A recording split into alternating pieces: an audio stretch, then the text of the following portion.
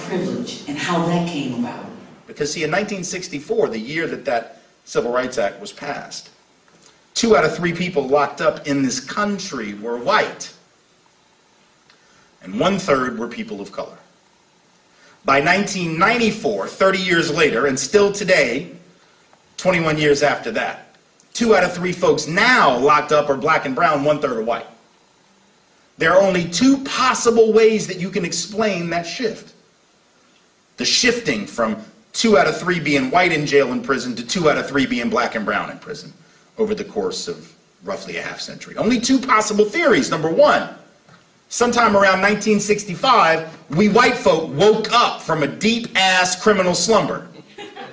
And we were like, damn, we have been robbing and raping and killing and stealing, and we have got to stop. This is out of